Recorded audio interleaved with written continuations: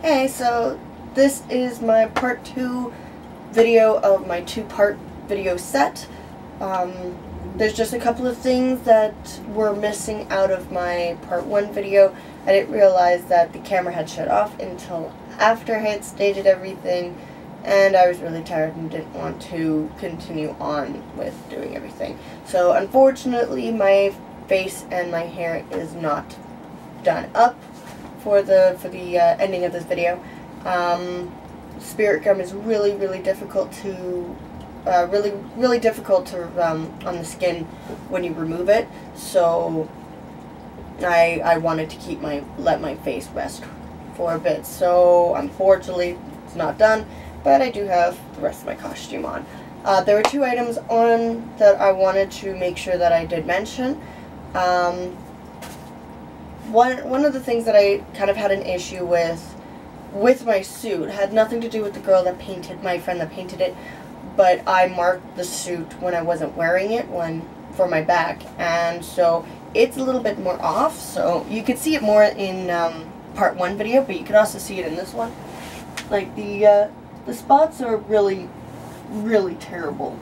So I decided to do kind of make two hit two birds with one stone and a way to be able to cover it, as well as um, not ruin the illusion of my costume or the appearance of my costume when I go to Comic Con, and thought of why not make a Lucky Charm backpack. Um, so then I can carry all my stuff, so my phone, my camera, any goodies that I buy, my wallet, um, my my other yo-yo, and just kind of throw everything into a bag. Um, I did just buy a cheap kind of um, plasticky bag, I guess, from from eBay. Everything that I purchased, um, there's will be a link in the description box uh, explaining all the links and whatnot to where I got everything. So um, I couldn't find a red bag, a red bag with black spots, so I just decided to paint it myself. Um, the circles that I used uh, are the same are same size circles that I used my, on my arms. Um, all I did was I went to the dollar store. Um, if you live in Canada, the Dollarama. Uh, if you live anywhere else, check out your check out your um, dollar stores, or even like go to the cheap disposable party section of like Walmart or whatnot, um, and you could probably find these little cups. Um, so I just found a cup that that's kind of broken, but uh, that had two circles on it. Um, the bigger circle was perfect for my for like the big part like on like the rest of my body, and then I was able to use the small one um, for my arms. If you look in the show itself, um, minus the fact that her arms are a lot her arms are a lot thinner.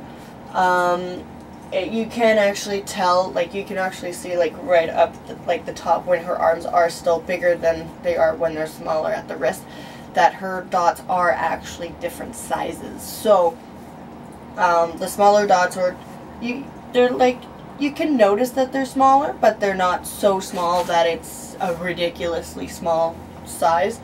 Um, so like getting a little cup like that just was perfect because the smaller circle was just, um, it, it balanced out with the bigger circles, so. Um, so that's what I did. Uh, so when I put this onto my back, you can't really see the issue on the uh, on the back of my costume. So I kind of feel a little bit better about that. Uh, it, it still does suck that there's no way for me to fix my back. Um, not like anybody that I really knows I've actually watched the show, so they aren't really going to notice anything. Um, and the other thing I wanted to bring up, because um, these are really, really awesome, and sadly they were not in the video yesterday. Um, my earrings, I was going to actually make them, but I don't know how to use resin. Uh, and surprisingly enough, every single jewelry store and craft store I went to had nothing to kind of like just take a circle and stick it onto the back of earrings. I thought that that would have been the easiest thing to find, but no, it is not easy to find these at all. Um, so um, there's a website, there's a Etsy user shop that I go to um, that that I have some of her earrings, and I looked at the studs and I realized that they were the per the perfect size. So I cut. So I asked her if I could custom order just a pair of studs. Uh, she makes cat 3D cat earrings, which are the most adorable thing. There is a link in the bottom. Even if you don't want to like get the cat earrings, uh, sorry, get the ladybug earrings, I'd say go there to just check out her her uh, her stuff. She all hand makes everything. They're really really adorable. Um, but yeah, if you look at these, it's like I blue skidooed into Miraculous Ladybug and took these earrings. Like, um, hopefully, hopefully you can see them. They are one of the best things that are part of this costume. Like, these are perfect. Um, so, uh, I think that is everything that I wanted to talk, uh, talk about. Um, that I wasn't able to get a chance to say my last video due to the cutoff. Um, if you do have any questions, please feel free to call uh, to uh, to ask, leave a comment. Um, I'm not sure how much I'll be able to answer, but I'll do my best. This is the first time I've ever actually gone and completed a cosplay. I did dress up like Harley Quinn once, but my friend made my costume. Um, I did Jack Skellington, but mind you, again, all I did was make the tie. Um, so this was the first time that I basically almost went pretty much from scratch, other than the this bodysuit being already made. Um, uh, all I had to do is get my friend to paint the circles. Everything else I uh, I made myself. Um, so I, I'm very proud of all the hard work that I put into it, uh, all the hard work that my friend put uh, into the spots. So uh, yeah, if you have any questions, I can try and answer them as best as I can. Um, and enjoy Miraculous Ladybug.